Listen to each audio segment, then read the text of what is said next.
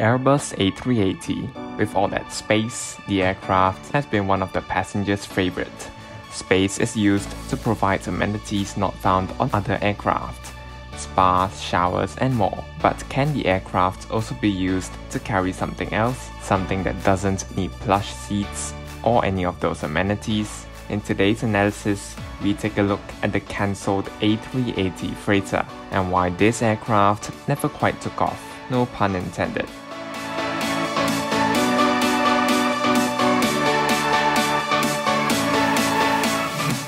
Before we do, if you're new here, do consider subscribing and stay tuned for more great videos on the way.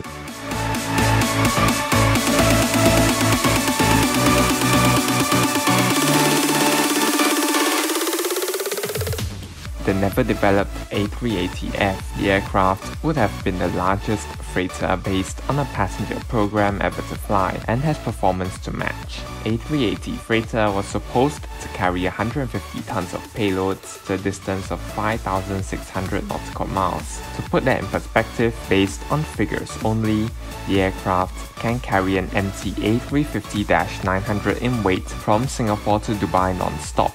The aircraft was targeted to replace older 747-400 freighters with lower fuel burn per ton than the 747.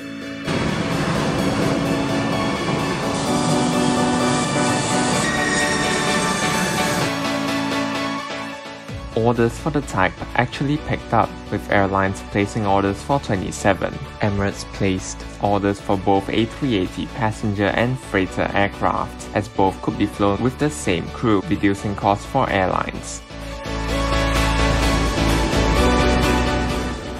All of these orders though would quickly be cancelled, and the A380 freighter would never go on to be developed. Why is that so? Well, the main reason is that Airbus themselves axed the program. Due to huge logistical issues assembling the passenger version, Airbus pulled the plug on developing the freighter version, meaning a huge delay to deliveries. By then, FedEx and other customers had already placed orders for the 777 freighter.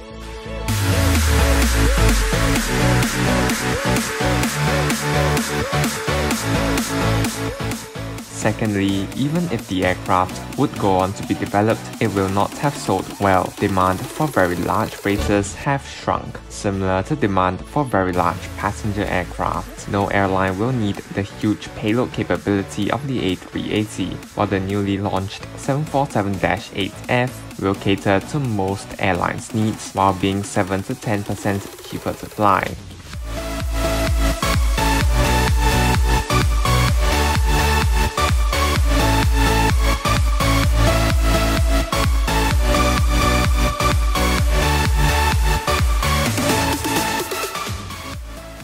big issue is the high operating weight MT of over 70 tons heavier than the 747-8 due to the structure of the A380. That said, the A380 freighter would have been the closest thing to an AN-124, or in other words, the Hulk of freighter aircraft.